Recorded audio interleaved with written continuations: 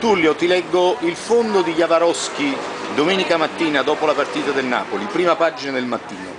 Uno 0-0 piuttosto vivace, di spessore, a modo suo espressivo, ma un fermo immagine in classifica. Tra Napoli e Genova va a finire così, eccetera, eccetera. Partita agonistica, piacevole, però non è arrivata la vittoria sperata. Qualche attenuante per gli azzurri sussiste e l'elenca. Il campo infame, formazione imposta dalle assenze, e una strategia difensiva. Punto.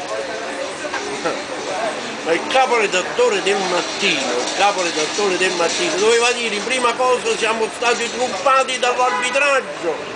Quello doveva dire. E allora perché non l'ha detto? Eh no, perché due sono le cose. O non ha visto proprio la partita o si è interrotto il collegamento con il calcio Napoli perché lui parla solamente a comando.